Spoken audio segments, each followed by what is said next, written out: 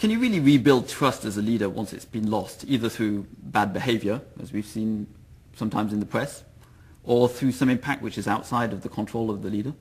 Yes, trust is the key word here.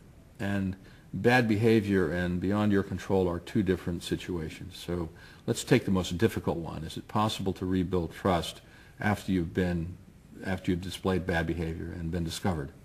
So we know we know for sure that that happens a lot. It's in the headlines every day, and we also know it's a far more public world now for leaders than it ever has been before. So in cases of bad behavior uh, causing a lack of trust within an organization, I think it's very, very difficult. Very difficult. Um, because the way trust is rebuilt, and you know it's very, very fragile, the way it's rebuilt is by consistent action over time that shows that you have the best interest of other people at heart. And over time is a long time before trust can be rebuilt. So it's very difficult within an organization to do that and to stay in the leadership role that you're in. Uh, if it's beyond your control, which is the second case that you mentioned, it's quite possible, especially if the facts are clear to everyone that it's beyond your control.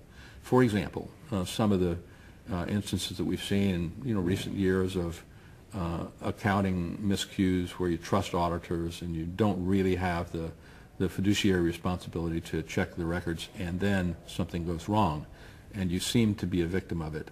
It's quite possible to rehabilitate that by, by putting forth your own commitment to be more vigilant, to make sure that that doesn't happen again. Because generally, people are going to be forgiving if they perceive that it was beyond your control. So I think that's quite possible. Now, that's, those comments all relate to within one organization. There's a second corollary question. Is it, is it possible to rebuild a career? Let's just say that your bad, be, bad behavior did indeed sink you in a given organization.